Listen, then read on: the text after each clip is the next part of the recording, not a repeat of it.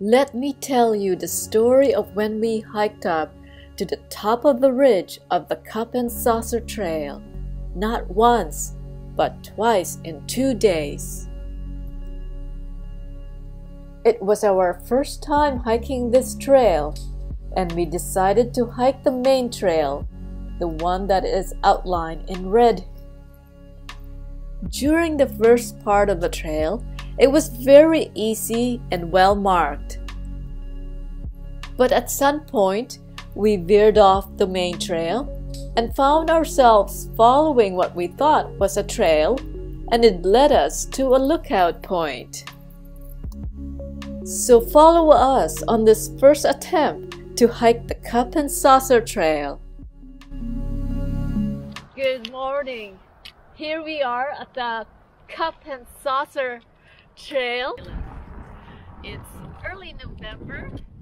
We're the only one here. Uh, as you can see, it's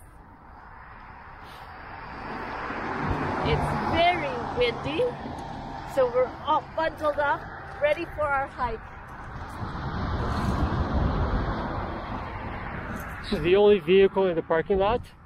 Unless people have walked here, there's nobody else here besides us. The noise of speeding vehicles on Highway 540 can easily be heard at the entrance to the parking lot. Trail, red, just follow the red, follow the red, follow the red, follow the red red, red. I guess we come back after, see the same path, and we're back here. Okay. Let's move on.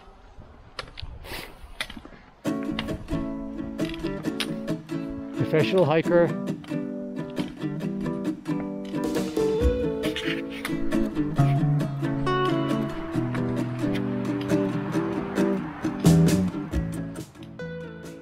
It was good to be hiking among the forests again. You never know what you might come across on the trails.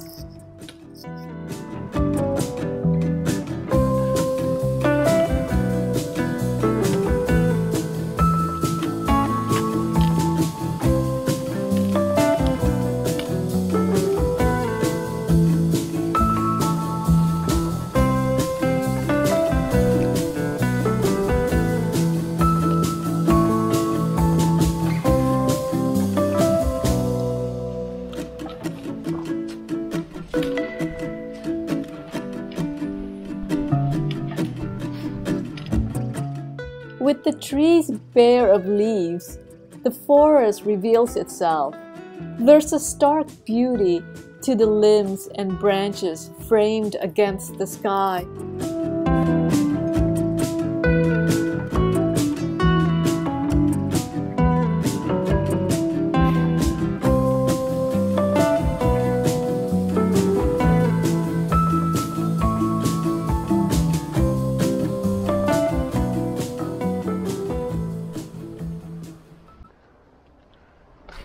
Quite interesting how this uh, tree just uh, developed roots on top of this rock and it's basically feeding itself from this rock.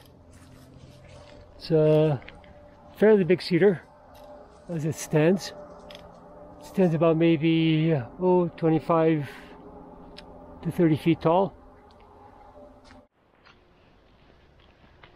So right now the terrain we're encountering over here it's uh, much the same. The foliage around here is very different.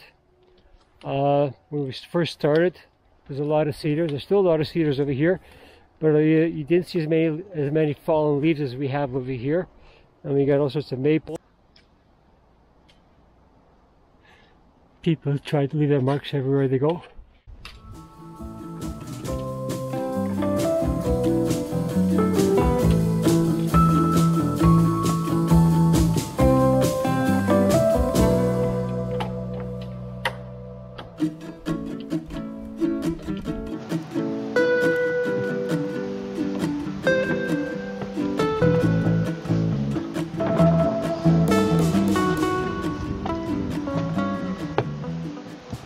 That is uh, our continuing path. And uh, forward we go.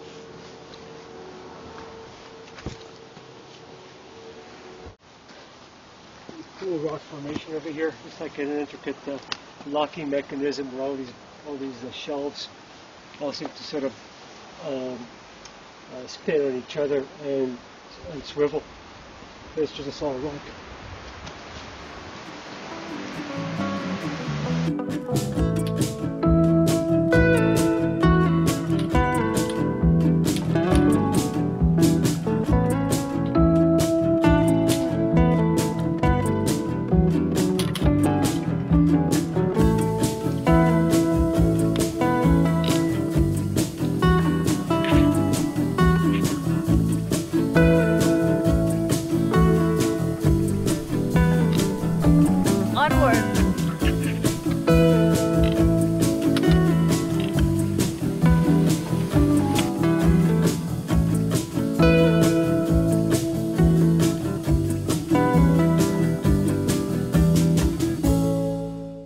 It was during this stage, when we continued walking straight, that took us on a different direction onto the western ridge overlooking West Bay. But at the time, we didn't know that we missed a turn for the main trail. So this is not a well-marked trail, so we're just relying on our uh, trail craft to uh, ensure that we stay on the trail on the way up to peak. As if we had any any uh, trail uh, craft knowledge later on. But uh, we're trying to determine is that uh, from the leaves on the ground, see what area looks like it's been more stomped on. Uh, I'm trying to follow that. So this path over here is very, uh, it's not very well marked. Um, there aren't too many markers on the trees. We, we saw some at the beginning. Uh, and because all the foliage, foliage has uh, fallen, you can't see any, uh, can't really see any footprints anywhere or any pathways. So uh, more or less relying, trying to see if there are some areas where the leaves have still have already uh, have been uh, stomped on, and we can kind of determine more or less. You can see that the pathway over here it looks like there's been a little bit more of activity through here and uh, hopefully we'll get there and come back because we have to come back almost to the same area.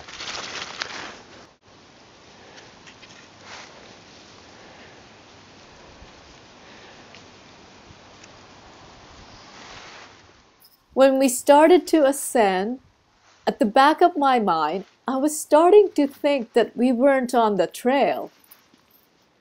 This was a steep climb made somewhat slippery with all the leaves on the forest floor.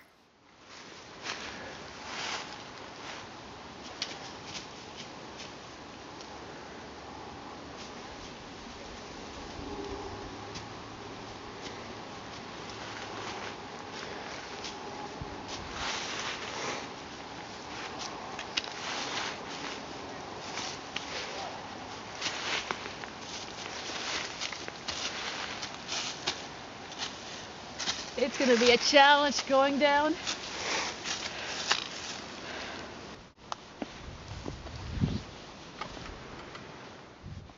A few minutes later, we saw a clearing ahead and walked towards it, and right towards the edge, and met head on the force of the wind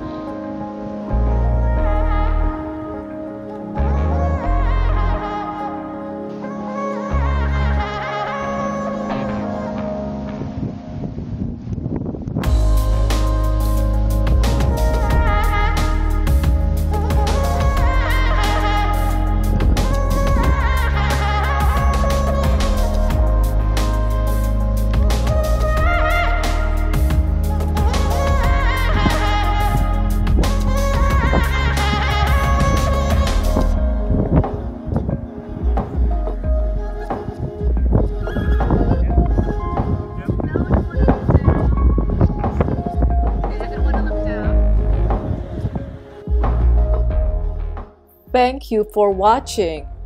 Please share and subscribe so you won't miss the next video when we returned the next day to hike the main trail.